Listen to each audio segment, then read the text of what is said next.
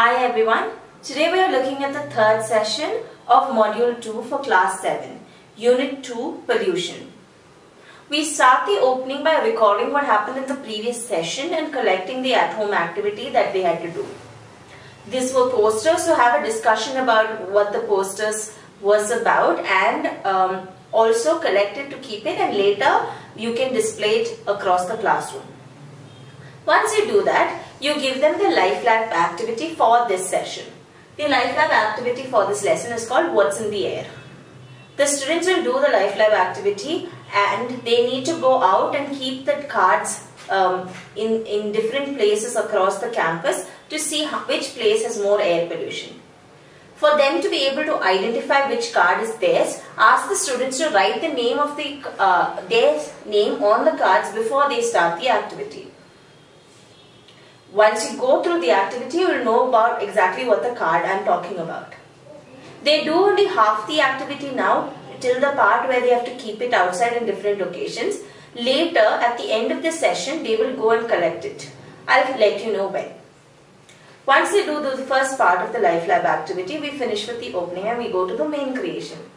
For the main creation, ask the children what do they know about um, sewage and wastewater. What happens to this water once it is uh, thrown out of our uh, households and big um, uh, hotels or houses, any wastewater that is being uh, thrown away.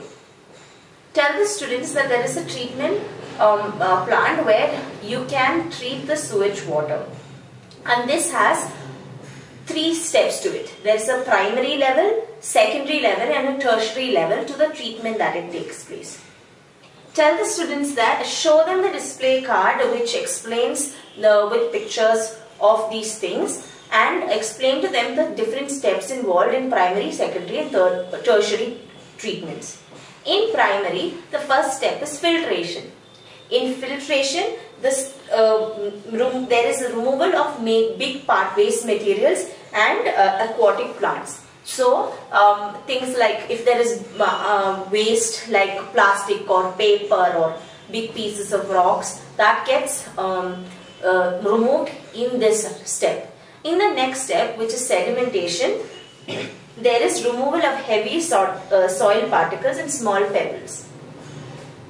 After that, uh, primary treatment is done and you go into the secondary treatment. In the secondary level, there is uh, aeration. Aeration is the frequent agitation of water to mix with air and bacteria.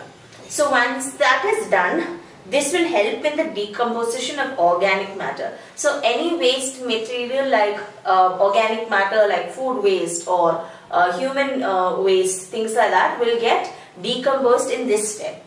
And the final is the um, tertiary treatment in which the step is chlorination.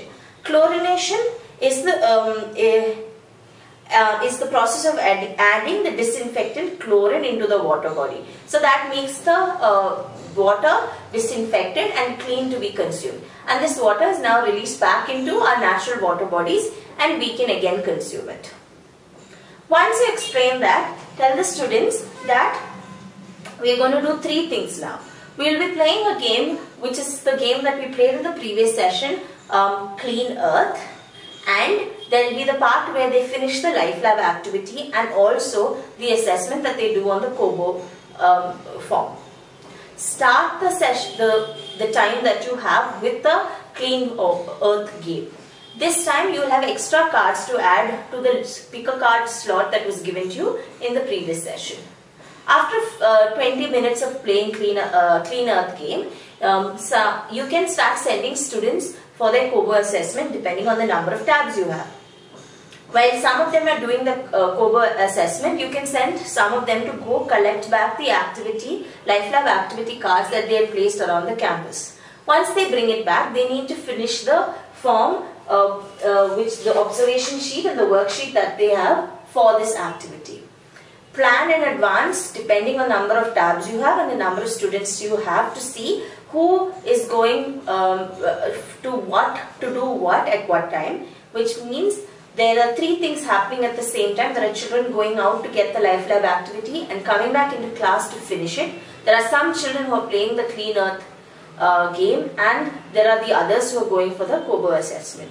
Make, uh, make sure you have enough time for all of this to be completed. With this, we come to the closure.